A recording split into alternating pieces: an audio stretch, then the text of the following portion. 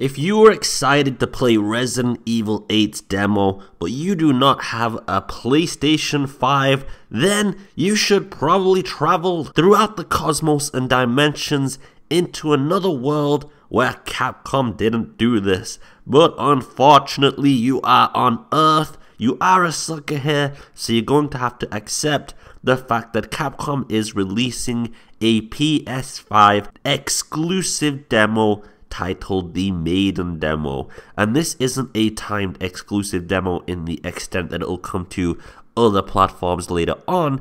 It does seem that other platforms will have a completely separate demo made for them, so the Maiden Demo will be unique to the PlayStation 5 exclusively and forever until the foreseeable future.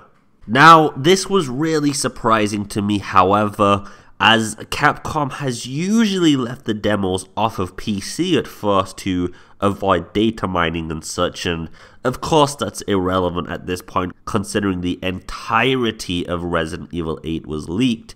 But they do usually release it on Xbox to coincide with the PlayStation release, and they're even going to not do that this time. So the PS5 timed exclusive will be coming today, which is horrible for anybody that does not have a PS5. If you don't have a PS5, you're going to have to wait until some unannounced day during spring to get a completely new demo separate from everybody else. And I know Capcom and Sony are clearly obviously working pretty closely here if that's how it's going to be, but I'm not exactly sure that this was the way to go for the fans. But I can see why they would do it, as it's more of Sony pushing this onto them probably, and Sony's obviously in this big console war with Microsoft right now.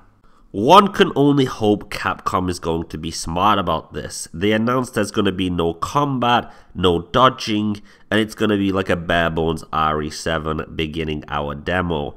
But I hope they do look at the beginning hour demo, and that's what is going to be released for all platforms. So again, the maiden demo is going to be for PS5 exclusively, and that is until the foreseeable future. That may never change.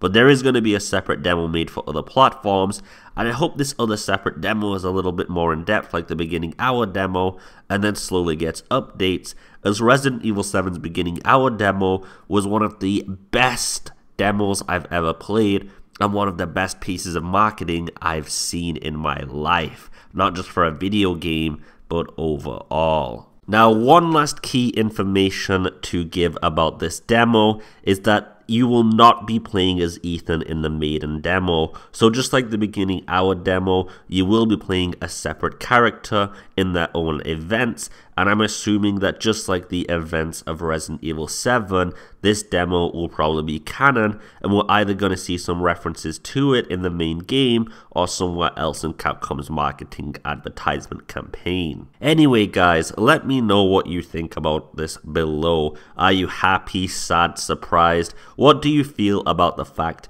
the demo is going to be a timed PS5 exclusive and then other platforms are going to get a completely different demo as well. I mean, I guess that's a good thing. Other platforms are going to get a new demo because it means that when we finally do get something, at least it will be different from the same content we've seen all over YouTube and other places. I'm going to be making a lot more Resident Evil content very soon, so if you do enjoy these videos, please leave a like, a subscribe, and click that bell notification on my channel so you can keep up to date with all the latest news as soon as possible. You can also follow me on Twitter, donate to my Patreon, or join my Discord. It's up to you guys. The links to these are all in the description.